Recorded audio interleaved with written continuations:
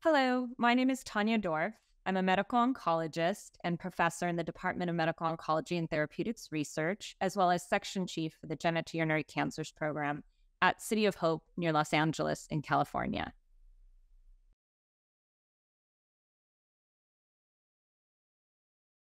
While the end result of either agent, a GnRH agonist or antagonist, is castrate level of testosterone, these two classes of drugs actually work by a different mechanism of action.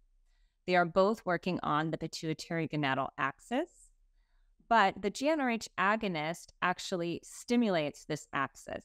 So, what happens first is there's an increase in FSH and LH, which then tells the testicle to produce more testosterone. And so there's what we call a flare uh, or an increased level of testosterone.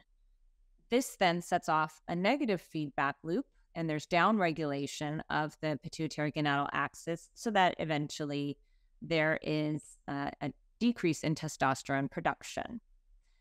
On the other hand, the GnRH antagonists simply shut down testicular production by negatively regulating the entire axis. So there is no increase in FSH and LH and no initial increase in testosterone. So, what does this mean clinically? First of all, uh, we expect that the testosterone levels will go down more quickly, and we don't need to block the potential negative consequences of a testosterone flare by running in an androgen receptor antagonist which we need to do with the GnRH agonists, uh, since that initial surge of testosterone can stimulate prostate cancer growth. So, in a patient who has metastatic disease, who's symptomatic, we don't want the cancer to have that little growth spurt from the testosterone surge. On the antagonist side, it can be safe to just use it directly without needing to do the androgen receptor blocking um, such as bicalutamide, uh, run in because there is no testosterone flare. There are other consequences of the FSH and LH surge as well. These are felt to potentially be implicated in cardiovascular complications from ADT, although, to be fair, the, the full mechanism of that has not been fully elucidated.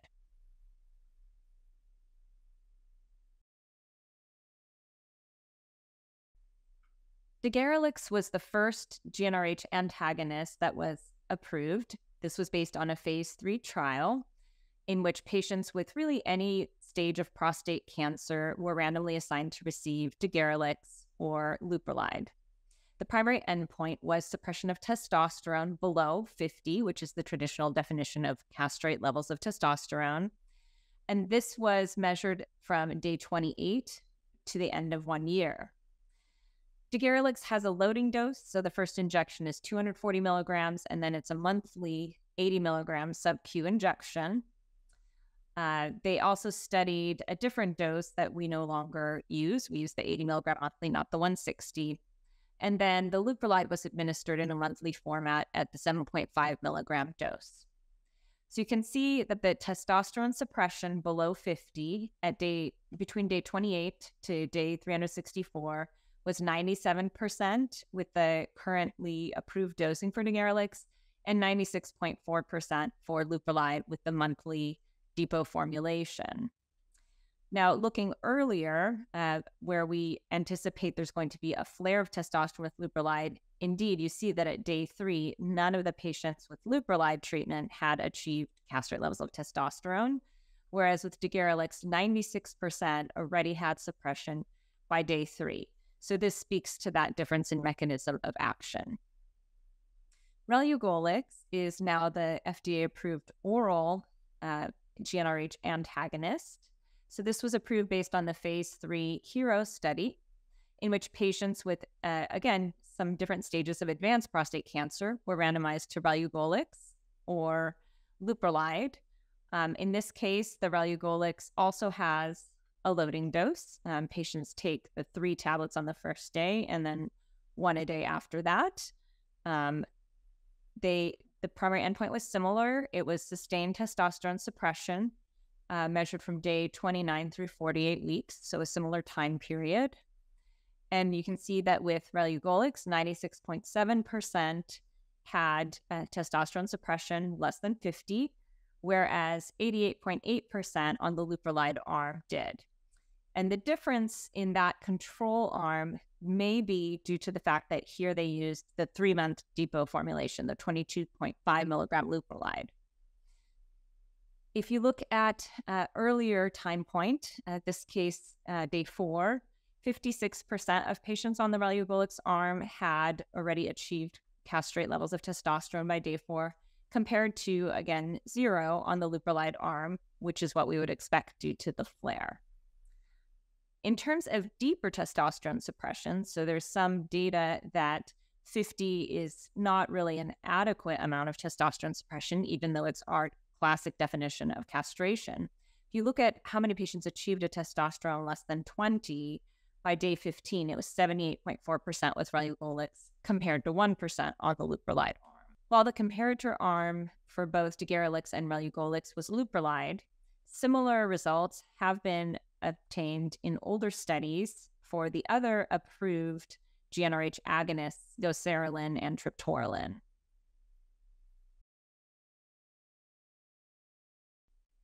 Regardless of how we lower testosterone, we see a similar uh, set of adverse effects uh, because it's that change from a high level of testosterone or normal level down to castrate that can provoke some of the adverse effects and then there are also side effects that come from that sustained absence of testosterone.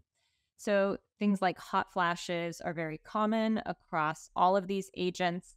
Uh, you can see 54% from the HERO trial with relugolix, 26% in the degarelix trial, uh, and 79% with leuprolide traditionally. There can also be weight gain. Uh, this was reported at 9% with the degarelix study, uh, there can be an increase in arthralgias. Um, this is not damage per se to joints, uh, but just sort of a less resilience. And so uh, wear and tear or, or degenerative changes over the years are already there, but patients might feel them a bit more once we suppress their testosterone.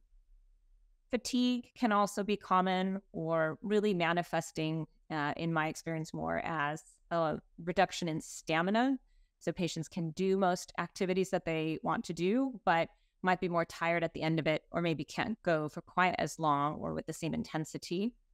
So in the HERO trial, fatigue was reported at 26%, with the leuprolide trial, 15%.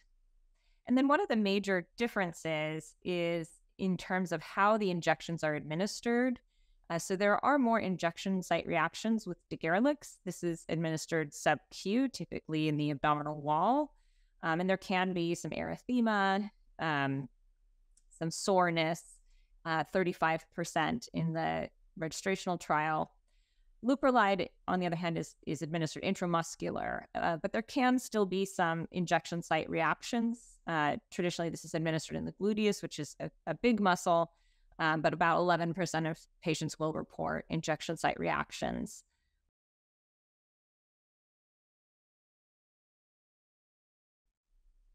This has been a challenging question to answer. Uh, there have been some conflicting uh, studies using databases and uh, sort of claims analyses. But I think consensus is evolving to say that there is an increased risk of cardiovascular risk when we use castration therapy, period. There's a lot of interest in whether that amount of risk differs when we use an antagonist versus an agonist because of that difference in how the pituitary gonadal axis is manipulated and that flare of FSH and LH.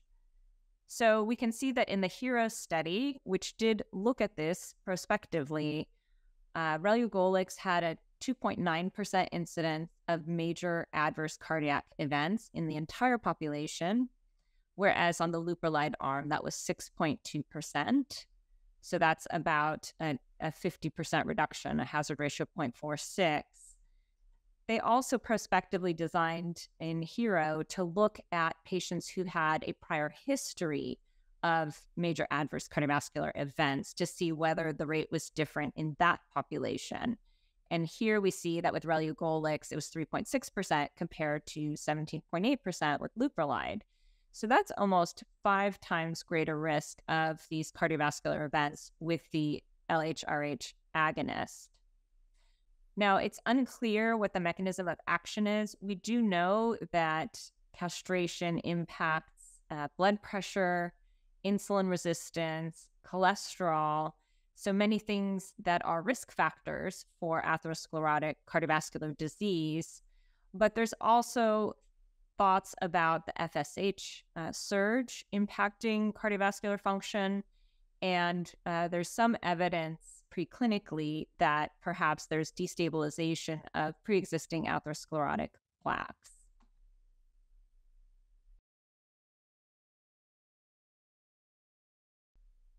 Another concern that has arisen due to some epidemiologic or claims based analyses is whether there's an increased risk of dementia in prostate cancer patients who receive androgen deprivation therapy.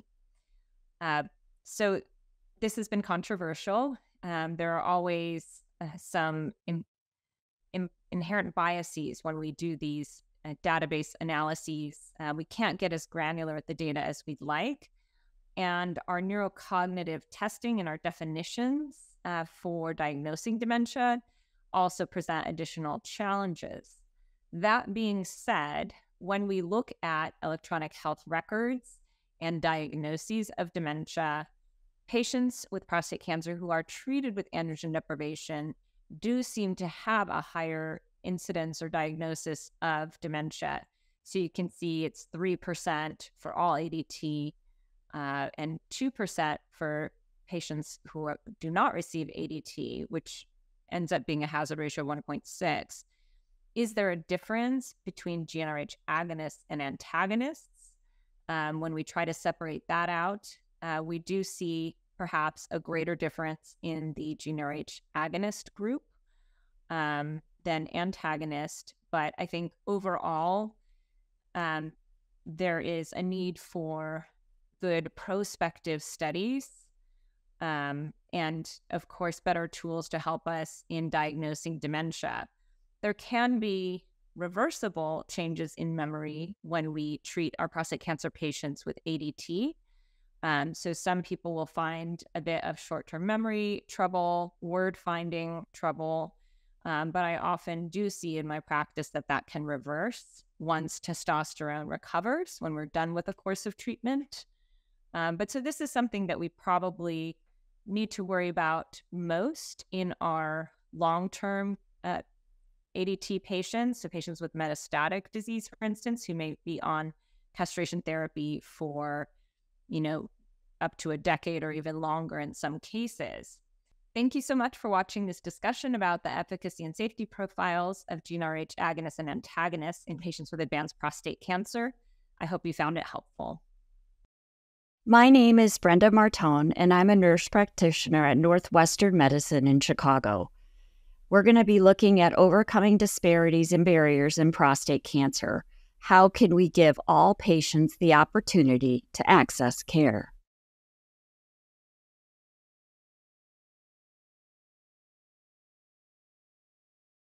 There is a perception that Black men experience more aggressive and lethal prostate cancer and studies to support that there's a biological component to this, the data is limited.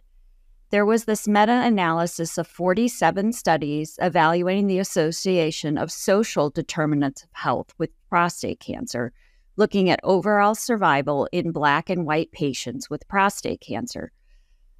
Social determinants of health are, are things like age, comorbidities, insurance status, income, extent of disease, geography, the standardized treatments that we have, and insurance benefits. And what was very interesting about this meta analysis of the, these 47 studies is that when you're controlling for these social determinants of health, Black men with prostate cancer had similar or improved outcomes compared with white men with prostate cancer.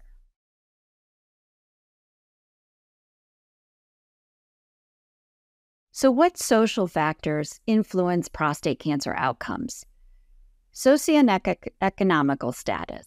There is an increased risk of death associated with lower socioeconomic housing, as well as those with lower education. And this impacts African American men in that they had a worse survival than non Hispanic white men. Insurance. Unfortunately, U.S. patients aged 18 to 64 years without insurance were more likely to delay or not receive medical care. They were also more likely to have advanced disease at diagnosis and worse survival. In looking at those who are less than 65 years without insurance, it was higher among these following populations. It was higher among Black, American Indian, Alaska Native, and Hispanic compared to white or Asian. It was also higher among people with lower income or education levels or in the South region to not hold insurance. There are other factors to consider, including geography and specific things related to the transgender population. For, for geography, there was a relationship between rural residents, stage, and treatment in the U.S.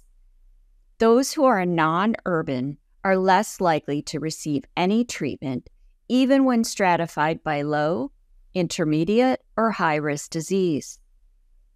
There were also differences in receipt of treatment between urban and rural residents. And this was seen to be the greatest in men with high risk disease. Transgender population. Cancer stage at diagnosis, treatment, and survival in transgender versus cisgender patients in the U.S. were likely to have poor survival after diagnosis with prostate cancer. For many cancer types, transgender patients may be diagnosed at a later stage, less likely to receive treatment, and this can lead to having worse survival for many types of cancers.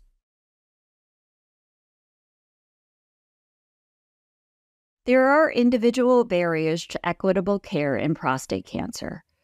Personal patient views 18% of all men in the U.S. do not have a healthcare provider.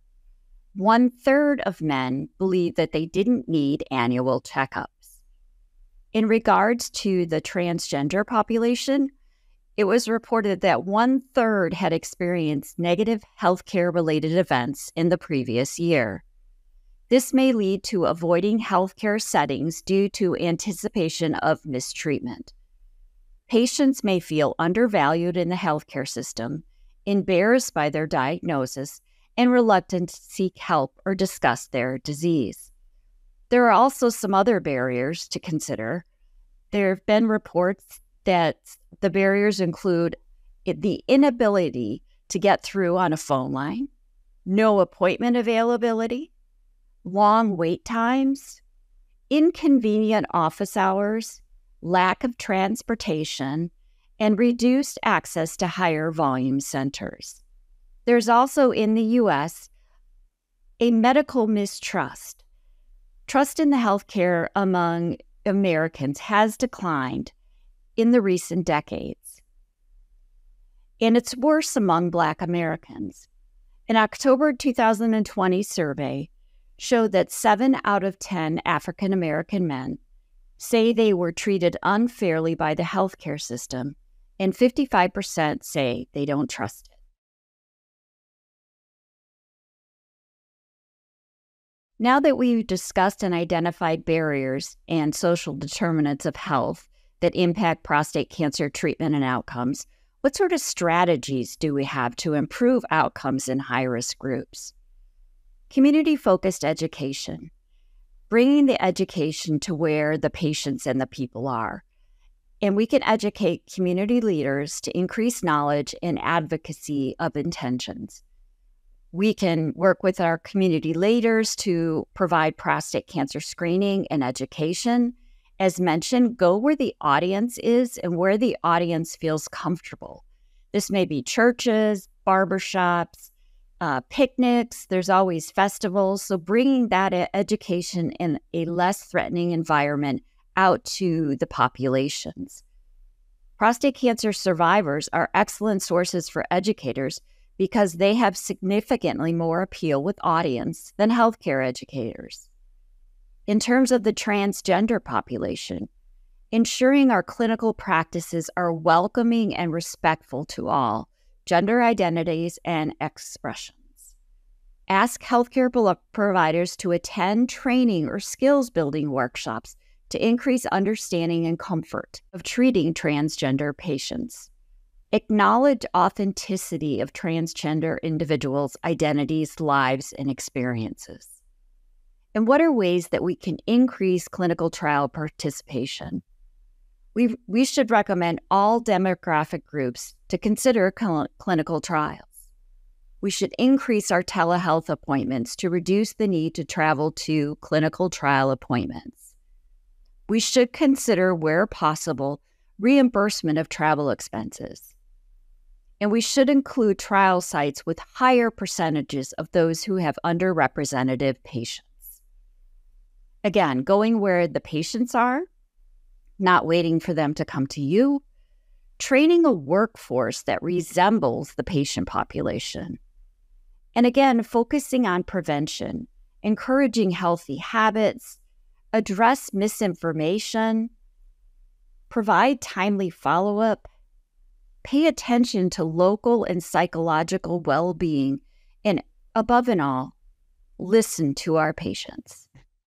Hi, I'm Steve Freedland, a urologist at Cedar Sinai Medical Center in Los Angeles, California, as well as the Durham VA Hospital in Durham, North Carolina. It's my privilege to be here today to talk to you about how we can support adherence in prostate cancer treatment and really focus in on the importance of incorporating patient preferences and shared decision making to ultimately optimize the therapies that our patients receive and ultimately improve outcomes.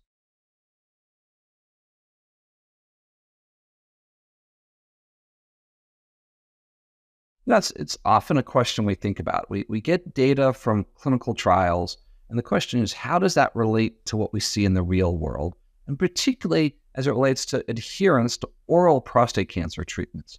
We see in clinical trials what we see is overall adherence in in the clinical trials to these medicines. Uh, you know, take an example, whether it's relugolix or leuprolide from the HERO trial, really, really phenomenal adherence, greater than 99%. And so the question is, what do we see in the real world? You know, you know, where patients aren't as monitored, we give therapies, we're busy, we're talking about other side effects and things.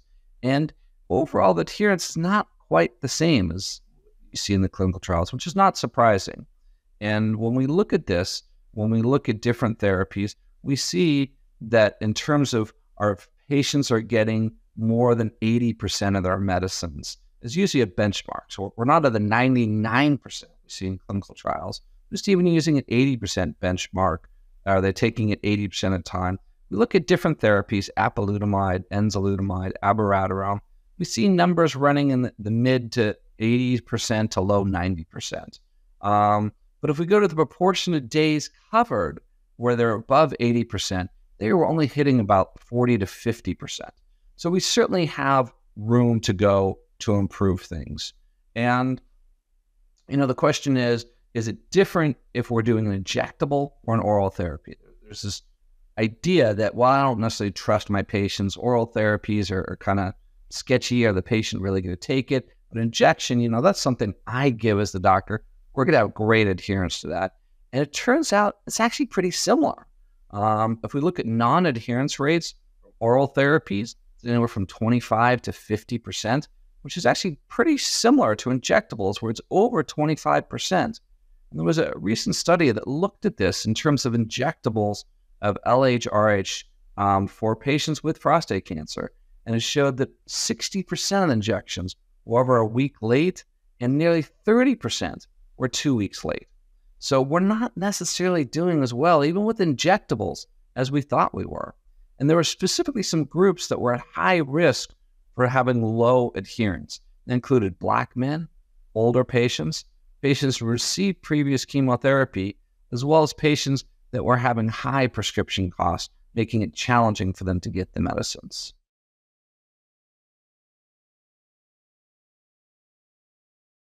So when we start to think about why are our patients not having optimal, uh, you know, adherence to the medications we recommend, it really comes down to some patient-specific factors and then some challenges just with the medications. Well, let's walk through this for a minute here. So one of the things that so the patient-specific factors, and this is going to be relevant.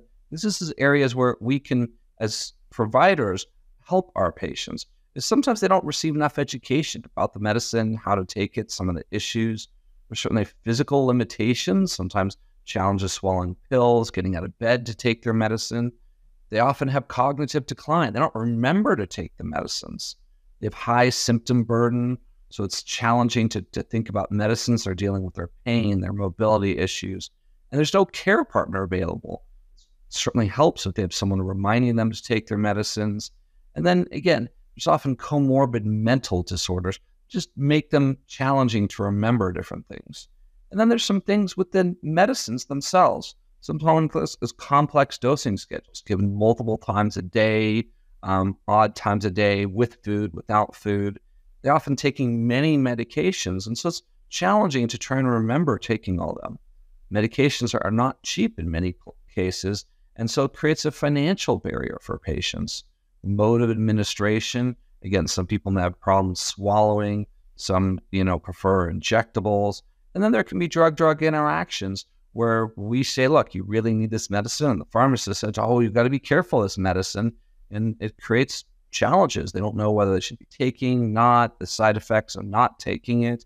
So there's a lot of barriers to appropriate adherence that we need to be mindful of as we're prescribing these medicines. So that's really the, the key question is how can we do better?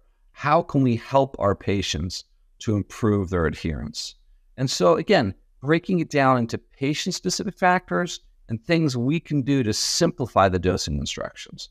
So we can have patients develop treatment diaries where they actually write down every time they took their medicine and they can, you know, look back. Did I take my medicine today? Did I not? We can have automated reminders, text message that goes out, an email, something to remind the patients. We certainly want to be mindful that the patients have family, they have care partners, they have healthcare teams. We want to get those people involved such that you have the, the sons, the daughters, the spouses reminding the patient, hey, dad, did you take your medicine today? Um, we want to eh, really embed the medication habits around other activities. So I know for myself, I can only really remember to take my medicines in the morning around my routine, taking a shower, brushing my teeth, I take my medicines. So making it a habit. So they don't have to think about doing it every day. It's just a habit. I do X, I take my medicines. And then we want to put those medicines where they can see them. And so that way they don't forget. There's some things that we can also do from the physician side is we can reduce treatment complexity, try to maximize once daily dosing as opposed to a four times a day medicine We can certainly provide educational materials to the patient, including the importance of taking the medicine on a regular basis. We can do web based treatment decisions aids to, again, help them understand here's the risks of taking the medicine, here's the risks of not, and why it's important once we collectively decide to go on a medicine to actually stay on on a regular basis. And then we can use pill boxes. I find those are extremely helpful, both for myself, uh, but also our patients, that they just open the pill box on a Monday morning, they take their pills, and they don't really have to think about it. It just becomes second nature.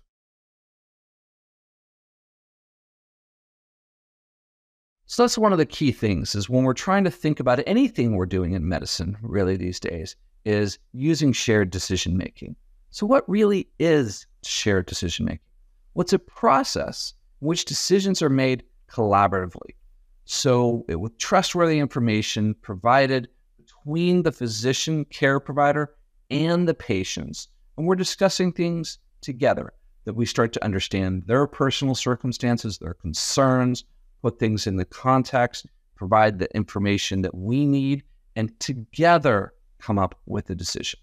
So, from an oncology point of view, that we should emphasize the importance of the patient's opinions, determine possible treatment options, and really provide our recommendations often in many cases, there's not a clear cut answer. So here are some options, here's some pros and cons, and really ultimately get to know the patient. And the patient should feel empowered it's important to express their opinions, their thoughts and feelings, ask questions, and really convey to the physician, I would prefer X side effect or Y. And then we can start to say, okay, given that, I think this is the better therapy than this one. So there's a lot of decision aids we have in prostate cancer to help do that. Many of them are focused on earlier stage in terms of to treat or not, but that's what using those tools we can collaboratively come up with decisions. And so there's plenty of experience uh, in prostate cancer in particular where, where decisions are not always so easy. And that's where, again, we need to understand the patient preferences, whether fearing needles, travel constraints, particularly um, vulnerable groups, LGBTQIA plus, in terms of their concerns. And so, again, using to share decision making, using decision aids, that we can collectively, again, come up with the optimal treatment for this patient who's right in front of me at this time. Really thank you for watching this. And hopefully, you know, we were focused on androgen deprivation therapy and advanced prostate cancer, but I think many of the things we discussed will be applied more broadly. And I hope you enjoyed it and uh, found it useful for you and your patients.